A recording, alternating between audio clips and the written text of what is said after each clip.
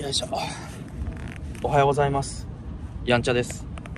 2022年9月12日月曜日の朝です。タイマー18分はい。さてやりますか。まずプランク。さてやるか。よっタイマー105秒よし。始めた。15秒のタイマはい。ーを開始します。久しぶりのここでのプランク。はい。なんか三重に行った状態でフランク結局あのヤンチャハウスの畳の上でやってたわけですけどなんかこのマットを持っていけばいろんなところでできたんですけどねただもうあれ以上荷物を増やすのが無理だったのでまあしょうがないですけどね。どうしようもないっていうか。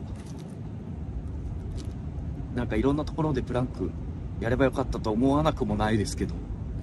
なんかね例えば Ruby 会議の会場でいきなりプランクをやるとかね迷惑そうだし。いやもうもうやめたい。は あなんか紛れることないかな。なんか iPhone で撮影してるから iPhone が見られない問題っていうのがやっぱどうしてもずっとあるんですよね。やべ、はあ、もうちょっとなんか紛れる話題ないかな。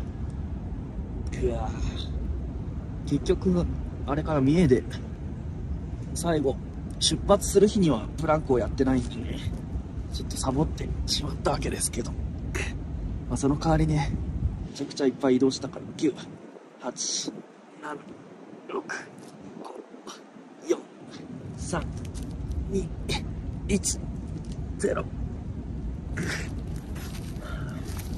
はい。はい。すごいこのこのここでこの流れ久しぶり わし。なんだろう。なんか文章を組み立てる力が破滅してる。あーいやー懐かしいですね。この屋上もね。いつぶりですか？出たのいつだっけ？6日の昼とかだから。7891011だから。5日間ここじゃないところで撮ってたんですよね。そうそう。振り返ってみますか。なんでそんな尺のかかることをするのかわからんけど。いやだから6日はあの湯河原とん違うな。6日は出たからいいのか。7日か。7日の朝は湯河原で撮ってで7日の朝湯河原で Vlog を撮ろうとしてコーヒーをカメラにこぼして、はい、おじゃんにしてしまったっていう。やつまず一つ。で次が三重に着いて三重の海岸で撮るっていうのを3日間やりましたと。でそれを3日間やった後、えー最終日11日はもう朝撮ってる余裕なかったんでそのまま出てしまって、えーと8時10分のその賭博初の、えー伊勢湾フェリーの船上で撮影したということになるわけですね。でその翌日が今日。いやー。昨日丸一日でね。帰ってきた。その話を今日はメインでしたい気はするんですけど。あの屋上で撮影するときにその ZV-10 じゃないっていうのは初だと思うんですけどちゃんと撮れてるのかな？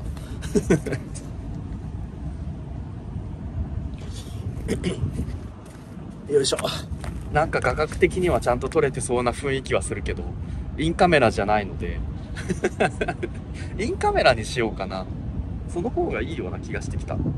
インカメラだと広角にしたりできないから微妙かなと思ったんだけどちょっと一回切り替えてみるか。ちょっと一回切ります。インカメラに切り替えてみたけどなんかこっちの方が撮りやすいですね。やっぱり確認できるから。ただ頭と太陽がかぶっていてすごい五光が差してるみたいな状態になってでもこれは別にあれですよね。インカメラだからというわけではなくて時間帯の問題ですよね。まあいっかこれで。インカメラにしよう。しばらくインカメラで iPhone のインカメラで Vlog を撮ることにしよう。それはいいんですけど。でその絵がどう映ってようがその絵を見てる人は実はあんまりいなくて場所も含めて。なんかヤシャクラブって基本的に音を聞く感じになるんですよ。多分。知らんけど。知らん知らんのだけどわしは。わしが視聴する時はずっと絵を見てるわけじゃなくて大体歩きながら音を聞いたりするわけですけど。でねその iPhone で撮影してると音が微妙なんですよね。しょうがないんですけどカメラ位置が離れてるし iPhone のマイクで撮ってるわけだから。だからどうしようかなと。あの編集の時に音声分離を駆使して頑張ればいけるかもしれないって思ったんですけどそこで気づいたんですよね。なんかこの間その ZV-10 のそのピンマイクピンマイクをこのノートの下に置いてしまった状態でその撮影をして音がめちゃくちゃくぐもってしまったっていう回があったんですけど音声音声破滅みたいなそういう回があったんですけどその時にあのなんだっけファイナルカットプロっていう編集ソフトの新しい機能でその人が喋ってる音声とその周りのノイズを分離して人の声だけを抽出した状態にできるみたいな機能。を駆使して、まあ、いい感じに調整しましたっていう内容だったんですけど今またそれが必要になってきているってことなんですがなんかすごいフラグだったなっていうか。フラグっていうか伏線回収じゃんこれって思った。ちょっと前にその音声分離について音声分離を試さざるを得ない状況に陥ってでやってみてなこういう感じなんだってなった1週間後ぐらいですか。1週間後ぐらいにカメラが壊れて iPhone で撮らなきゃいけなくなって iPhone で収録すると音が微妙だから音声分離をしなきゃいけないみたいな。すごいストーリーを感じるなって思いながら、今喋ってます。あのそうなんですよね。いかに今までの ZV-10 のマイクが良かったか。それがねよく分かりますね。だからなんか iPhone につないで iPhone のあれあれ使えるのかな？もしかして。ちょっとた明日からちょっと試してみようかな。あの iPhone ってあれあるじゃないですか。あのライトニング端子からあれあるじゃないですかの前に。あれがないじゃないですか。どれがないかっていうとあの イヤホンジャックの穴がないじゃないですか iPhone って最近のは。だからその有線でピンマイクとかをつなぐ場所がないってことなんですよねデフォルトで。で何があるじゃないですかって言ったのかっていうとそれを補うためにそのライトニング端子のところに挿すアダプタでそのなんだろうマイクとイヤホンに対応するイヤホンジャックを今足なんか文章がおかしかった。そのインカムに対応したイヤホンを挿すための穴を増設するためのアダプタがあるじゃないですか。iPhone には。それそれにピンマイクのイヤホンジャックのやつを挿して収録すれば案外あのピンマイクで収録できちゃうかもしれないですよね。ちょっとあれだな。持ってくるか。ちょっと今。はい再開。なんか今やってみたらいい感じだった気がする。ちょわかんないけど多分いけなんか音声入ってたからいいんじゃないかな。多分このマイクから入ってると思う。よしタイマーを再開しよう。よしなんだなんだじゃない。ちょっとわかんない。今 iPhone のスピーカーで鳴らしてるからなんかどっちも大して違わなかったけど。ヘッドホンも持ってこいよっていう話なんですけど。ああ、なるほどね。こうすればいいんだ。それは、そうですね。気づきませんでした。ただまあ、あのー出先にはこのアダプターを持ってってなかったんで、どっちにしろ、どうしようもなかった。三重県ってこのアダプター買えないんで。いや、本当に無理だったと思いますね。わしの三重県での行動範囲の中に、その、iPhone のイヤホンジャックを増設するためのアダプターを買える店なかったと思うんだよな。ワンチャンコンビニとかにあるもんなんですかね、あれ。わかんないですけど。はい。というわけで、ちょっとね、カメラが壊れたんです。カメラが壊れた状態をなんとか話でした。話でしたっていうか、これが、えっと、枕。枕というわけで、カメラ壊れましたっていう話の、その導入部分。導入部分でもう10分ぐらい使ってるんですけど。まあ、いっか。で、今日も一応お休みなんですよ。なぜなら、そのワンチャン昨日中に帰ってくるつもりではいましたけど、そうならなかならないかもしれなかったんで、ちょっと翌日もバッファーとして休みを入れてたんですよ。なので、今日朝10時からですね、10時から秋葉原のソニーのあの修理サービスセンターみたいなやつがあるので、そこに持ち込んで修理をお願いしに行こうかなと思います。あの、ちょっと前にヘッドホンの修理を頼みに行ったところですね。ちょっとあらかじめソニーのサイトで必要なものをもう一回リストアップして、チェックリストを作って、よしってなってから行きます。そしたら多分ちょうど10時ぐらいにつけるんじゃないかな。なんせ今まだ8時30分とか、そんなもん。なので、はい。いやなんかね、その、旅先でずっと朝6時とかに起きて、そのまま活動し始めるっていう生活をしてたおかげで、今朝もちゃんとね、6時に、いや、ちょっと、あれだな、6時に1回目が覚めて、アラームで。で、その後、ちょっとぐにゃぐにゃして6時半から活動を始められました。で、朝ごはん食べて、だからちゃんとソニーに10時に行くのが間に合う。偉い。偉いですね。はい、さて、これでようやく本題に入れるということですね。はい、じゃあ、昨日の話なんですよ。昨日の話。昨日、その、まあ、朝、フェリーの上から宣言してたと思うんですけど、まあ、フェリーの時刻は決まってたわけですね。8時10分に出て、えっ、と、鳥羽港を8時10分に出て、えっ、と、なんだっけ、あの、伊良湖岬の港に着くのが9時5分。で、9時5分からが勝負なんです。9時5分から気合で、その、家まで、その日中に帰ってこられるかチャレンジみたいなやつをやったわけですよ。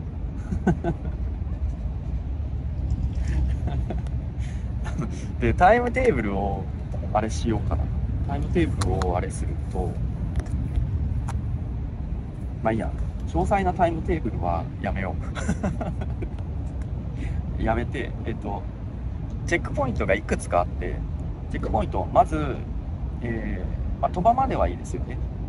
鳥羽まではよくて、えっと、伊良湖岬から、伊良湖岬から道の駅豊橋っていうところまで、えっと、大体40キロぐらいですかね。その、要するにその伊良湖岬がある、えっと、渥美半島っていうところを抜けて、半島じゃなくなるポイントぐらいが、大体その豊橋の道の駅。そこまでが 40km ぐらいで、大体1時間20キロですかね。80分、80分で40キロだから、まあいいペース。じゃあいいペースですね。はい、で、次が、その道の駅豊橋からどうしようかな。なんかその、浜名湖一応寄ったんですけど、浜名湖で、なんか浜名湖の名物の、なんかすごい希少な魚が食べられるって聞いて。ちょっと食べてみようかなって思ったんですけどなんかうまいこと店を見つけられなくて。なんか30分ぐらいさまよってたかな。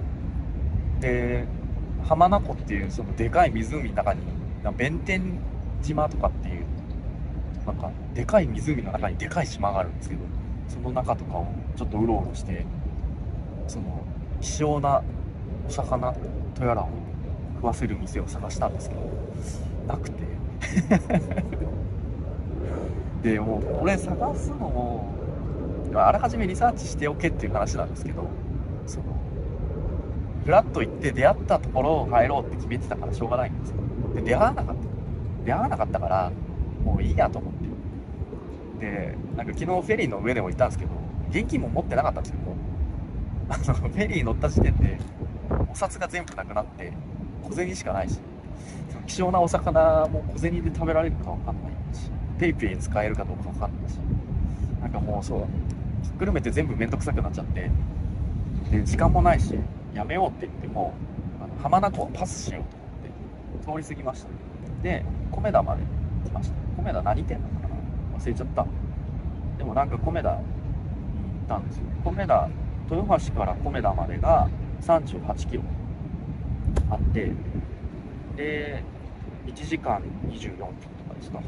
まあまあまあです。まあまあまあそうですね。アベレージ 30km パーアワーぐらいですか。で米田でそのあれなんですよ。はい。そのフェリーで上でフェリーの上で撮った映像とかあとなんだっけどこで何してたっけわし。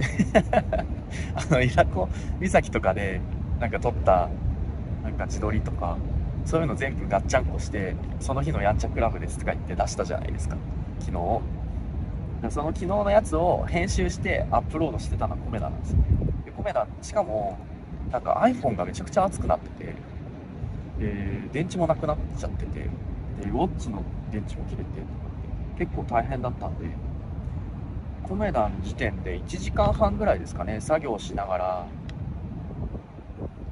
でコメダ w i f i もあるんでアップロードするのにいいやと思ってここで一回仕切り直しをしました。でこっからですよね一番辛いのはね。この次ほとんどノンストップなんですけど次富士小山っていう道の駅まで行ったんですがこれが米田から150キロ。なんか途中いい感じに休めるところが全然なくてなんか渋滞にも巻き込まれるしほんとなんか静岡県の道路は本当に渋滞しがち。行きもそうだったんですけど帰りもすごい渋滞してる。なんかもういいやと思って。しょうがないんで150キロをとりあえず走りました。これが5時間18分。すごかった。すごかった。でもその富士大山道の駅富士大山めちゃくちゃ良くてなんか目の前に富士山がドーンと見えるし。あれはいいですね。やっぱ富士山の周りにツーリングするの結構いいなってすごい思いました。で富士大山からそこを出てあれ？でもなんかなんかおかしいな。富士大山ってああそっかそっか。これってあれなんですかね？確か。御殿場？御殿場っていうところなんですよ御殿場ってわし行ったことなくてなんか基地とかがあるんですかね？あとなんか自衛隊の練習とかをやってるところなんですか？なんかちょっと忘れちゃったけど。練習場とか。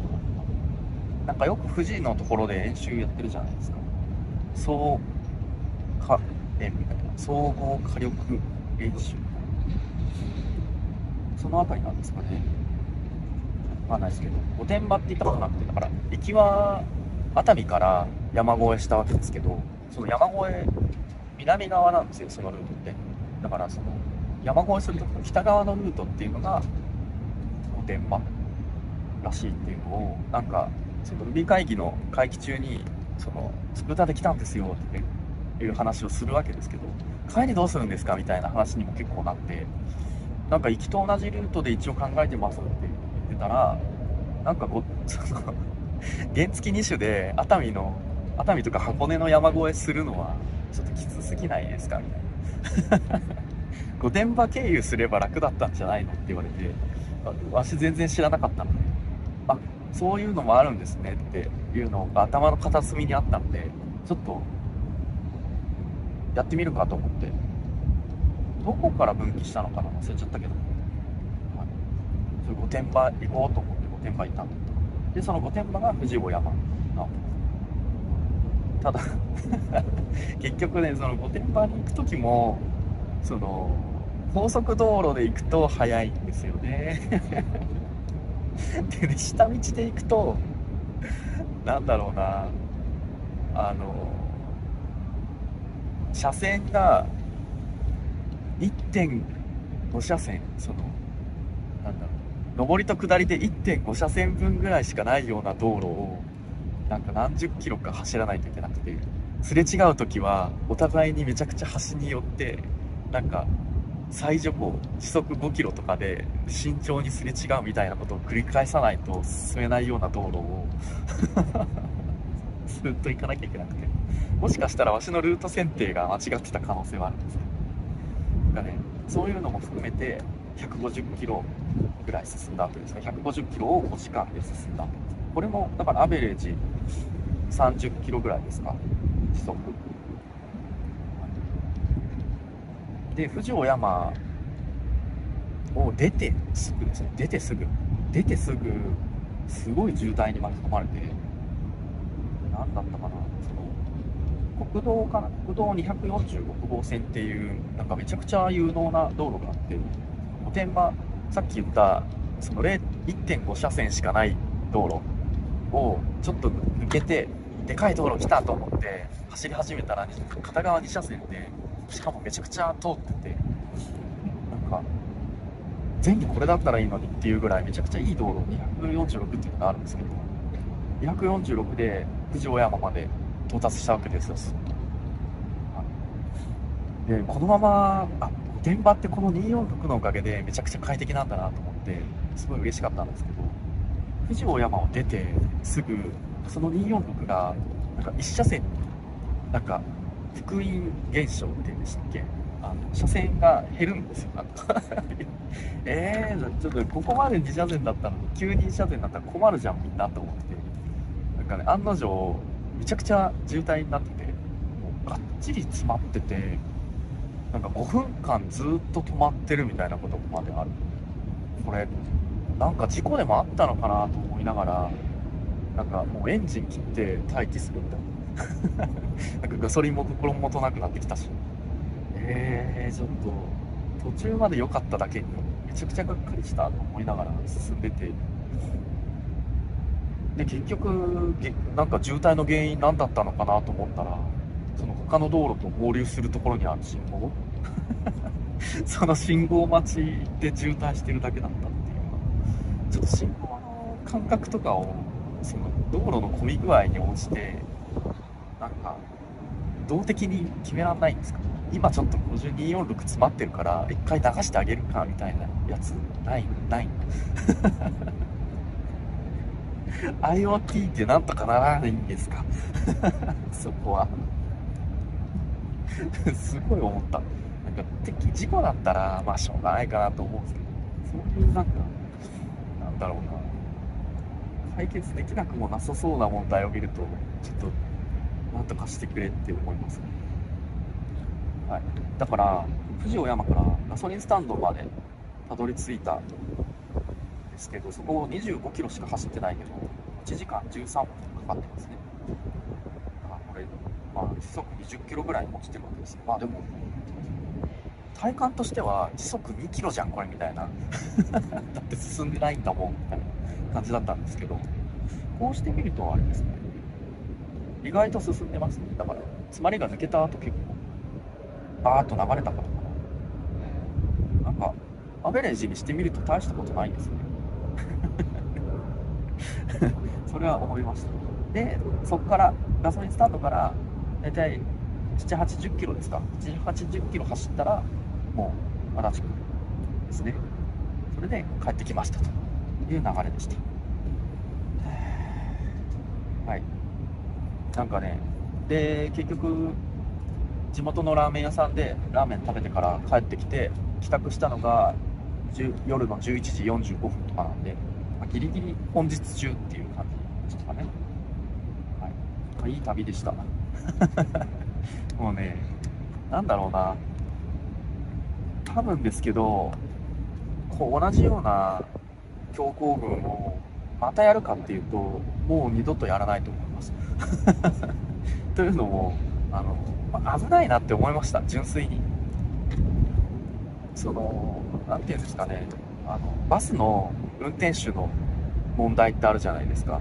結構その高速バスなんか深夜の高速バスとか貸し切りバスとかで事故が頻発した時期があってそれでなんかその運転手のコンディションになんかフォーカスが当たってそれをちゃんと安全に管理しないとダメだみたいな風潮風潮っていうか当たり前のことなんですけどでなんかさっき調べたんですけどバスの運転手は1日 500km までしか走っちゃダメよ。まあこれ高速限定だと思う限定というか高速に乗ることを前提にしてるとは思うんですけど500キロまでしかダメよ。とあと9時間までしかダメよって言ってるんですよ。でしかも連続で走れるのは2時間。2時間に1回休憩を入れつつ1日に走る走ってる走行時間を9時間まで。っていうなんか自主規制なのかな？法律で決まったのか分かりませんけど規制があるんですよ。それに照らしてもバスの運転手は当然その事故を起こしたらその結構大大量の人間の命をなんか危険にさらしてしまう。こと分かりますバイクはバイクで事故った時の危険度が高いのでな基準で管理すべきな気がするそうすると1日走行時間9時間までに収めるのが筋なんだろうなとまあ、走行距離はね、まあ、別として時間の方が参考になるなと思ったんですよ。確かに昨日帰ってくるとき富士小山を出てからの 100km とかですかね残り3時間。あそうだから全体で走ってた時間って11時間38分とかなんですよねなのでまあ大体12時間としてで最後の3時間ですね。9時間を超えた後の3時間ってやっぱりもうなんか結構眠気も来てるしなんか疲れがなんかどっと湧き出してきたみたいな状態になってたんでこれはやばいなと思いました。面白かったんですけどやっちゃダメなことなんだろうなって。でそれを帰ってきてから調べてあ9時間かなるほどって思ったの。やってから調べるなっていう話なんですけど。はい。次やるとしたら9時間に収まる予定でやっていきます。だから往路は良かったわけですよね。結局往路は湯河原で一泊して刻んだっていうのがこれにこのガイドラインに即してたわけですよ図らずとも。偉かったわけですよ。帰りは偉くなかった。確かあれですよね。道路交通法的な観点で。もなんか疲労運転禁止みたいな項目がありましたよね。疲労運転は確か厳密に言うとなんか徹夜明けで走っちゃダメよとかそういうやつだったと思うんですけど。ただぶっ続けで走るっていうのは疲労運転一種だと思うなまあ言っちゃダメ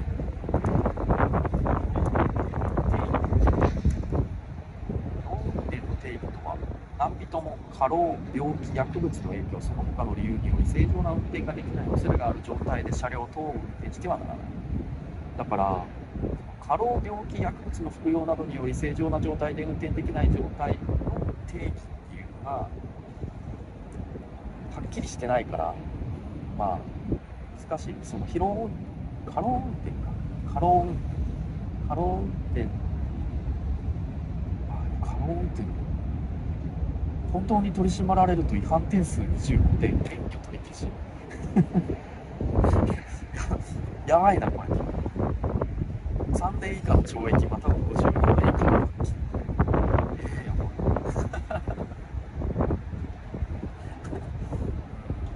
ーやばい過労運転はちょっと洒落たな飲酒運転ですね要するに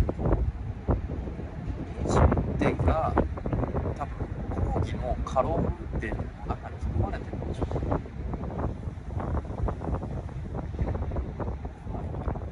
そういうことだだから12時間1日に12時間走ったことをもって即座に過労運転で取り締まられるってことはないとは思うんですけど何かのそのことが起きた時にその事件を振り返ってみてそうだったねみたいな話にはなるかもしれないっていうぐらいの話ですか。ただまあ法律があるってことは法律ができるなりの理由があるってことなのでまあそうですね。過労運転だなって思ったんだったらやめた方がいい。そういう話です。ちょっとかなり時間オーバーしたけど、まあいいか。はい。ちょっとペシャル回でした。バイバイ。